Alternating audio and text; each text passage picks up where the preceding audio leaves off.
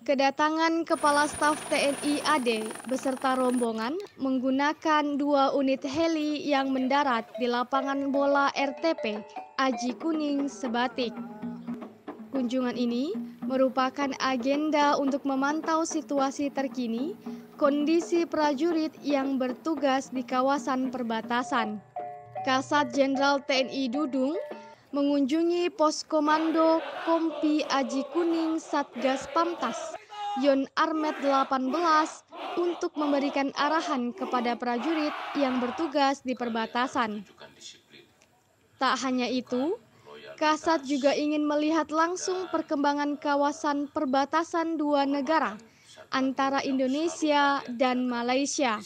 Menurut Dudung, prajurit selalu disiplin dan menjaga kehormatan TNI AD serta solidaritas TNI Polri untuk tetap mementingkan kewaspadaan terhadap perubahan situasi setiap saat.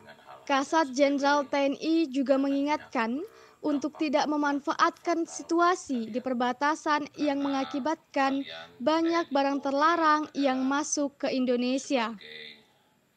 Tentunya saya tidak ingin ada prajurit-prajurit saya yang kekurangan baik masalah materialnya, kemudian di dalam masalahkan tugas-tugasnya.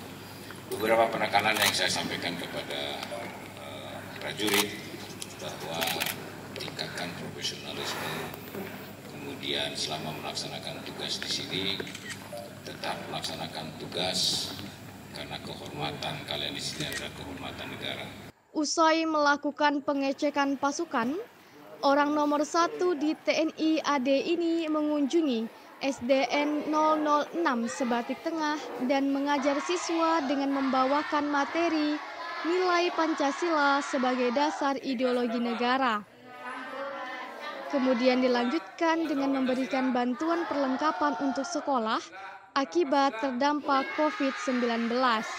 Kasat juga meminta prajurit yang bertugas di perbatasan tetap menjaga solidaritas dengan prajurit lainnya, baik itu marinir, kepolisian, maupun pemerintah daerah, serta mengembangkan inovasi sesuai keahlian yang dimiliki dan berkolaborasi dengan pemerintah daerah sehingga berdampak positif bagi warga sekitar.